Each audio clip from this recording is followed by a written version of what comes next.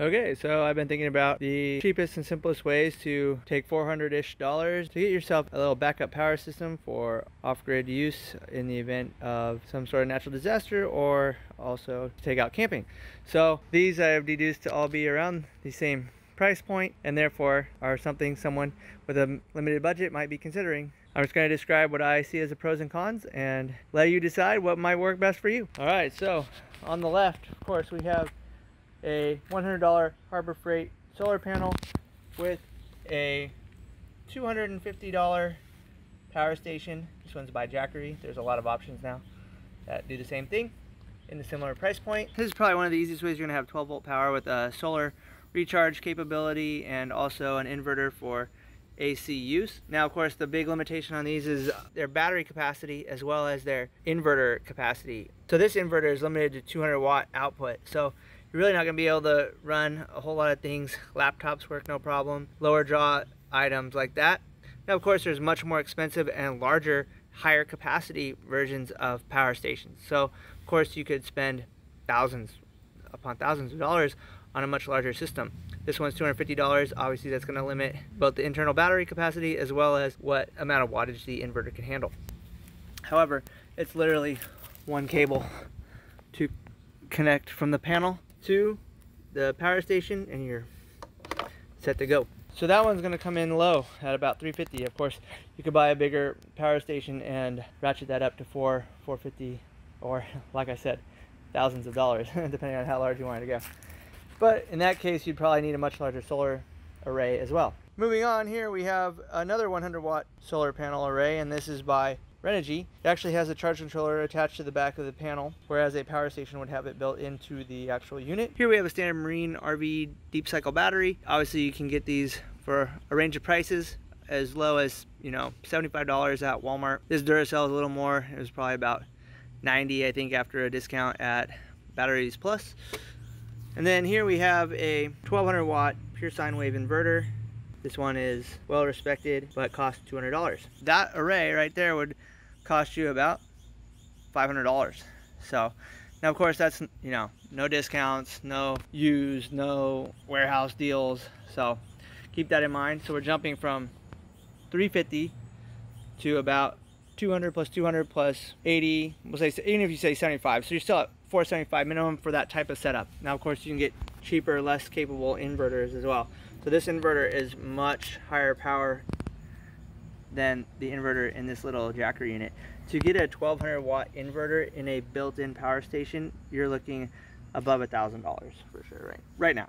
And that'll go down over time. All right so the biggest downside to this guy is that you're gonna have to wire all this stuff up. You gotta wire up the inverter.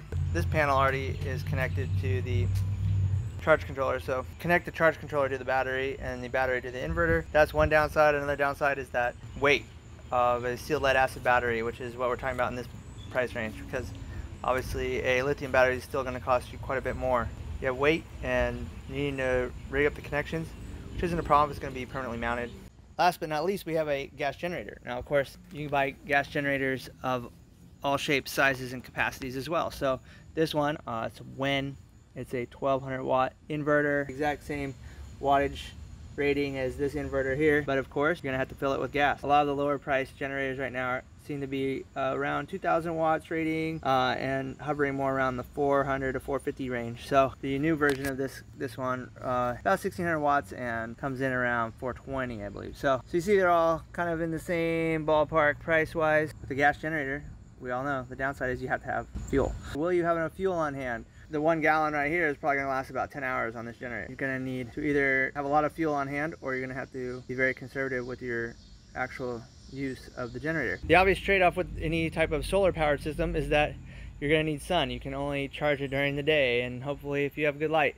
If you're somewhere like where I am and you have a lot of tree coverage, that might be a pain for part of the day. These are things to consider. We all know that with a generator, essentially, as long as you have fuel, you can run it in just about any conditions, right? With enough battery capacity, you can do the same with a solar powered system. These batteries are limited. You can pay much more money for much higher capacity batteries. However, you're not gonna stay in that $400 range anymore. You're, you're jumping really fast. On my trailer, I have a nice 100 amp hour lithium battery that uh, is actually relatively a bargain at $500 right now. This one battery costs more than any of these items out here. So of course you can get much, much larger batteries and you can buy more batteries and tie them together and all these things. When it comes to camping, obviously the big downside with the generator is that a lot of campgrounds have generator hours, so you can't run them all day.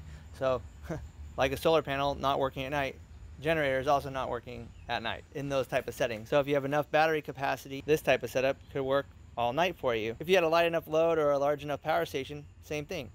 So with that in mind, generators definitely have their trade-offs, not to mention the noise, which is obviously why you can't run them all night at a campground. These guys are silent. A lot of trade-offs, a lot to think about.